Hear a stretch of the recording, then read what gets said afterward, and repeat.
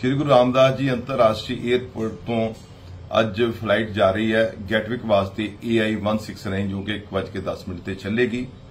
ਉਹ ਅੱਜ ਗੈਟਵਿਕ ਵਾਸਤੇ ਪਹਿਲੀ ਫਲਾਈਟ ਹੈ। ਮੈਂ ਉਹਦੀ ਆਪ ਸਭ ਨੂੰ ਬਹੁਤ ਮੁਬਾਰਕਬਾਦ ਦਿੰਦਾ। ਮੈਂ ਹਾਜ਼ਰ ਵੀ ਹੋਣਾ ਸੀ ਇਸ ਫੰਕਸ਼ਨ 'ਚ, ਪਰ ਪਾਰਲੀਮੈਂਟ 'ਚ ਕੁਝ ਅਹਿਮ ਮੁੱਦੇ ਹੋਣ ਕਰਕੇ ਅੱਜ ਇੱਥੇ ਰਹਿਣਾ ਬਹੁਤ ਜ਼ਰੂਰੀ ਸੀ। ਔਰ ਨਾਲੇ ਦੱਸਣਾ ਚਾਹੁੰਦਾ ਕਿ AI 169 ਜਿਹੜੀ ਹੈ 에ਅਰ ਇੰਡੀਆ ਦੀ ਫਲਾਈਟ, ਇਹ ਬੜੀ ਕੋਸ਼ਿਸ਼ ਦੇ ਨਾਲ ਹੀਥਰੋ ਹੀ ਚਲਾਈ ਸੀ। ਇਹ ਹੀਥਰੋ ਦਾ ਰੂਟ ਆ, ਡਿਵਰਟ ਇਹਨਾਂ ਨੇ ਹੋਣਾ ਹੀਥਰੋ ਦੀ ਬਜਾਏ ਗੈਟਵਿਕ ਉਤਰਨਾ ਹੈ। ਸੇਮ ਜਹਾਜ਼ ਹੈ ਸੇਮ ਨੰਬਰ ਹੈ।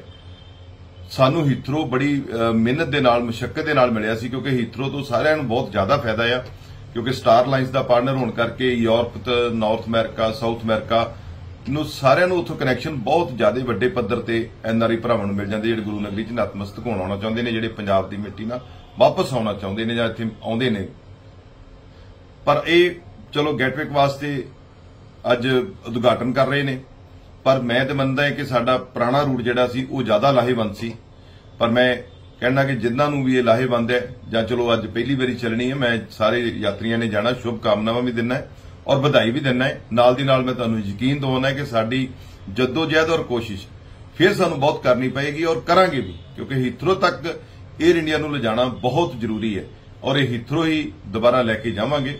ਬਾਕੀ ਵੀ ਜਿਹੜੇ ਹੋਰ ਭੈਣ ਭਰਾ ਬਾਹਰ ਵਸਦੇ ਨੇ, ਉਹਨਾਂ ਨੂੰ ਇਸ ਫਲਾਈਟ 'ਚ ਆਉਣ ਵਾਲਿਆਂ ਨੂੰ ਔਰ ਜਾਣ ਵਾਲਿਆਂ ਨੂੰ ਬਹੁਤ ਬਹੁਤ ਸ਼ੁਭਕਾਮਨਾਵਾਂ ਬਹੁਤ ਬਹੁਤ ਵਧਾਈ।